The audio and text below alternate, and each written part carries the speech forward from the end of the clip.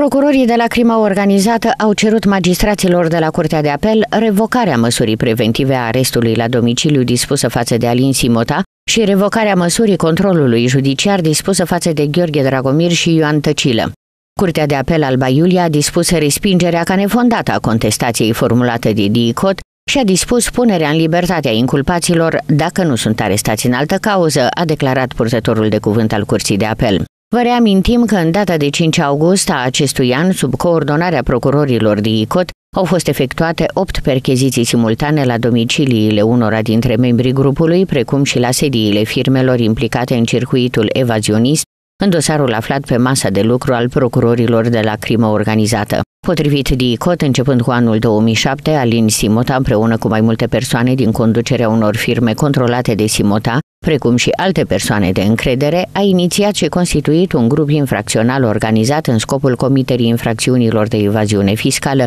de lapidare și alte infracțiuni pentru a obține beneficii materiale.